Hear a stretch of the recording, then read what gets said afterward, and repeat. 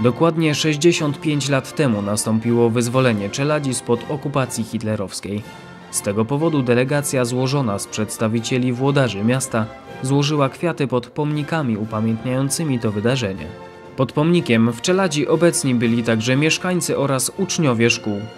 W tym miejscu głos zabrał Edward Waksmański.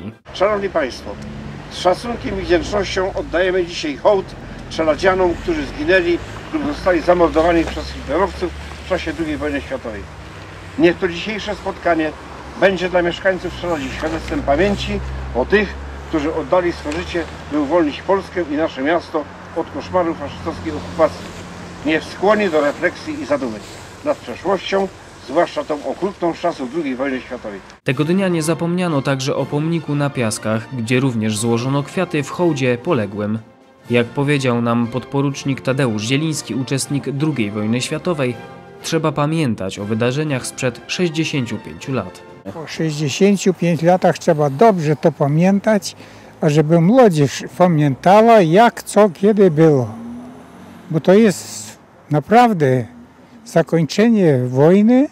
To był moment taki, że człowiek chciał wyrosnąć wyższy jeszcze. No. 27 stycznia miało miejsce również wyzwolenie obozu koncentracyjnego Auschwitz. Te dwa wydarzenia sprzed 65 lat dzisiaj wydają się być czymś odległym. Na szczęście są ludzie i organizacje, które dbają o to, by pamięć o tych wydarzeniach nigdy nie umarła. Dokładnie 65 lat temu Czelać opuścił ostatni żołnierz armii hitlerowskiej. 65 lat to szmat czasu.